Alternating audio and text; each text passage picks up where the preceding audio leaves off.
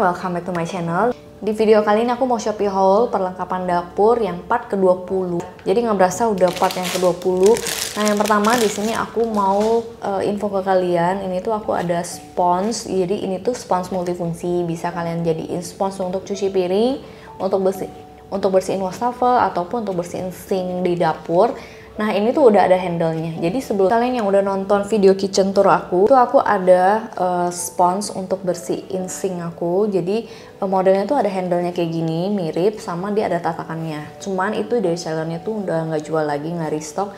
Nah aku nemu di Shopee yang mirip tapi beda sebenarnya beda di sponsnya. Kalau yang itu tuh dia rada ada kasar-kasarnya. Kalau ini tuh enggak, dia benar-benar spons. Terus ini tebel dan empuk banget. Nah ini ada handle-nya, tapi dia nggak ada tatakannya ya. Jadi kalian bisa uh, jadiin ini sebagai spons cuci piring ataupun spons untuk bersihin sink juga. Size-nya cukup gede dan ini tebel banget, mantep gitu. Nah di sini aku ada tiang yang fleksibel, jadi ini tuh aku pakai untuk di area bawah sink dapur aku, jadi buat gantung-gantungin sarung tangan atau apa pun juga. Nah ini dia uh, jualnya ada macam-macam size ya. Ini aku belinya yang sekitaran 30 sampai 50 cm. Aku lupa uh, persisnya berapa tapi ini yang pendek jadi ini tuh bisa di adjust gitu. Jadi bisa dipanjangin bisa dipendekin ini sisi sininya ada kayak karetnya gitu. Jadi kalau kita tahanin di dinding tuh kayak nggak bakal jatuh gitu nggak bakal copot. Jadi tinggal dikencengin aja dengan puter ininya. Nih ini punya aku yang warna putih oke okay banget ya. Ada size yang paling gede juga yang tinggi. Jadi kalian bisa taruh buat di lemari yang ukurannya lebih gede. Bisa juga untuk gantungan tirai jadi kalian tinggal cantelin di depan pintu jadi tinggal digantungin tirai aja. Jadi fleksibel bisa dilepas pasang yang berikutnya ini aku ada beli uh, mangkok dan piring putih. Ini dari satu seller yang sama. Jadi ini aku beli mangkok putihnya kayak gini. Size nya memang aku lagi cari ukurannya kayak gini dan modelnya kayak gini. Dia tuh di sini ada teksturnya kayak gini. Cakep sih. Selebihnya polos cuman kayak uh, teksturnya elegan aja gitu.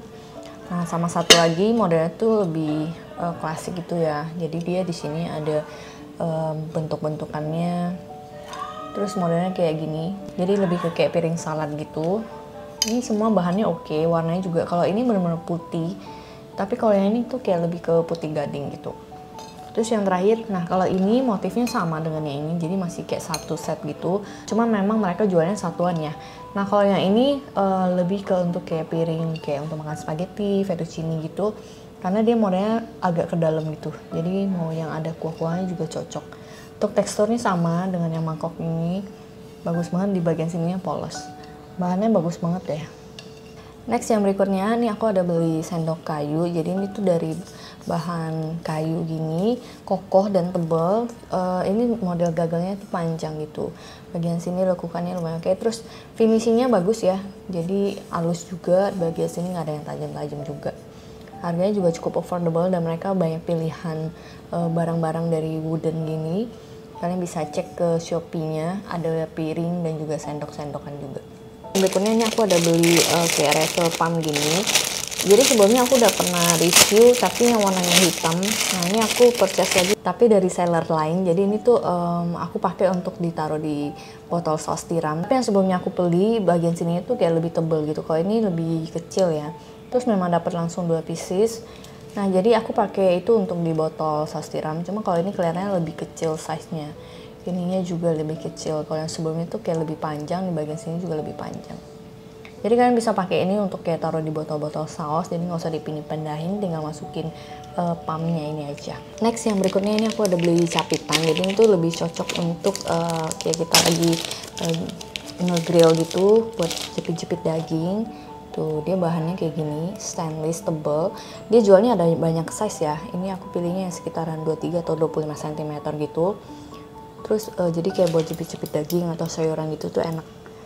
Tuh, size-nya lumayan gede. Kalau kalian mau size yang lebih kecil juga ada ya. Jadi mereka memang sedia banyak uh, size. Berikutnya ini ada tulisan minyak. Jadi uh, ini tuh langsung kayak dapet tatakan sama irisannya gini. Jadi kalau kita habis goreng-gorengan, tinggal ditaruh di sini aja Nah ini tuh size-nya lumayan gede ya. Tuh, jadi kalau kita habis goreng-goreng, taruh di sini jadi minyaknya tuh jatuh ke bawah. Untuk dari segi bahannya ini bagus tuh, tebal dan kokoh. Ini stainlessnya juga oke okay banget ya bahannya. Ini masih ada plastiknya, belum aku buka. Untuk packagingnya oke okay banget ya, jadi aman. Dia dibungkus rapi semuanya. Cuma ini udah aku buka. Yang berikutnya ini aku ada beli satu set keranjang gitu. Jadi ini tuh uh, keranjang kayak untuk kita pakai untuk cuci sayur atau buah-buahan gitu di dapur.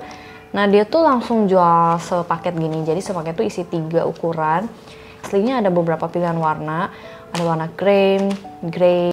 Jadi uh, dia model kayak gini. Ini tuh bahannya tebel ya, plastiknya tebal dan kokoh.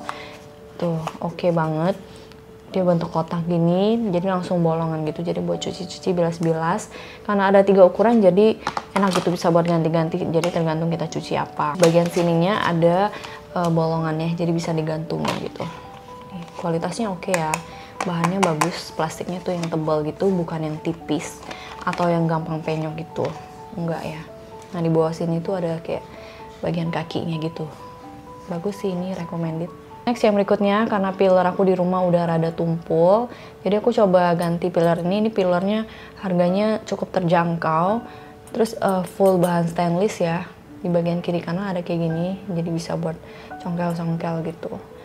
Untuk kualitas oke okay sih, dia juga ini cukup tajam. Berikutnya ini aku ada beli strainer. Jadi sebenarnya ada dua size, ada yang M sama L. Jadi ini aku belinya yang size L yang besar jadi untuk saringan gitu itu aku mes banget sama bahannya ternyata kualitasnya bagus banget. Dia tuh bener tebal dan kokoh tuh. Ini kalian lihat sendiri oke okay banget. Terus ini uh, size L nya menurut aku pas banget ya jadi nggak terlalu besar juga. Ininya juga agak ke dalam gitu jadi kalau buat kita ngambil-ngambil kayak mie atau apa tuh dia langsung masuk ke dalam gitu jadi bukan yang kayak ceper gitu. Ini enggak ya. Terus bagian sini ada bolongannya juga jadi bisa buat kita gantungin. Ini oke okay banget sih. Di tangan juga handy banget. Berikutnya ini aku nemu sikat botol. Tapi sikat botolnya itu uh, kualitasnya oke okay banget ya. Ininya plastiknya tebel banget. Terus dia kayak simple gitu fleksibel. Jadi buat kita bawa bawa pergian juga gampang. Jadi di sini ada sikat kayak gini. Ya jadi kayak buat sikat-sikat uh, tutup botol Terus di bagian sini uh, bisa untuk sikat karet-karet uh, di tutup botol juga. Biasanya kan tutup botol minuman itu ada karetnya. Nah bisa pakai sikat ini juga. Jadi oke okay banget. Terus dia bisa dikedalemin. Nah ini juga ada kayak sudut gini ada fungsinya. Jadi kayak buat congkel karetnya gitu keluar. Jadi oke okay banget ya. Bahannya bagus sih.